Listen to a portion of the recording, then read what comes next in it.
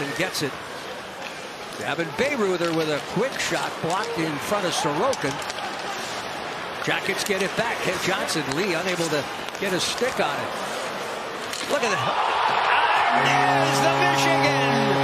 Kent Johnson circles the net and then sends it home. It's 3-2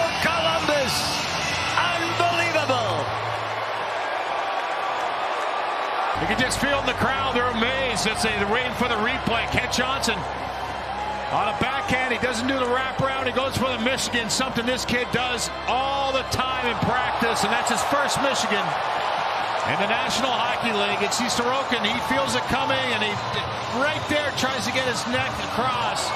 But Kent Johnson picks it up with ease, stuffs it top shelf. Highlight reel goal here for the Blue Jackets to take the lead for the first time tonight. How?